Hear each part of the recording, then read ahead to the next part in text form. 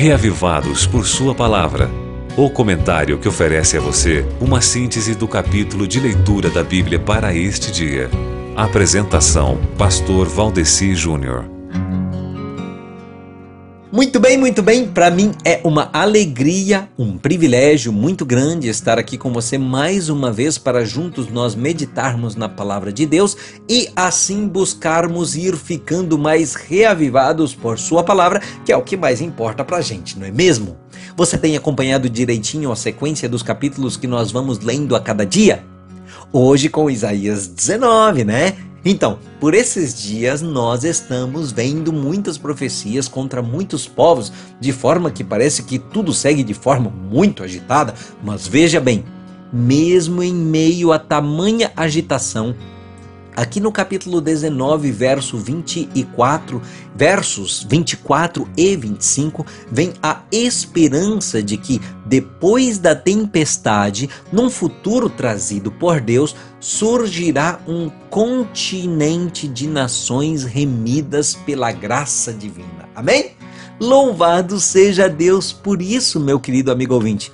E eu acho muito interessante a mensagem que está contida nos últimos versos desse capítulo 19 de Isaías, que nos mostra que o nosso Deus é o Deus da inclusão.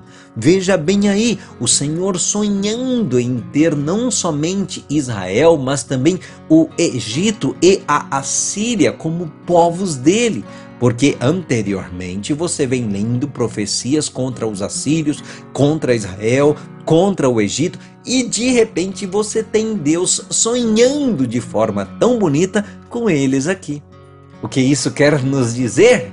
Isso quer nos dizer, amigo ouvinte, que Deus ele só pune quando não tem outro jeito mesmo, mas que no fundo, no fundo, o que ele mais quer é redimir. Você me entende? Se em algum momento o Senhor estiver permitindo que a sua vida não vá tão bem quanto você imagina que deveria ir, saiba que o Senhor não tem plano de desgraça para você, não.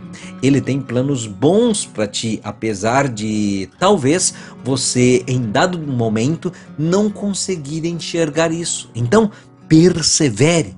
Leia hoje Isaías capítulo 19 em oração e veja o que Deus tem mais para lhe ensinar nesse capítulo que estamos estudando. Estamos combinados? Então tá ok então. Você ouviu Reavivados por Sua Palavra com o pastor Valdeci Júnior.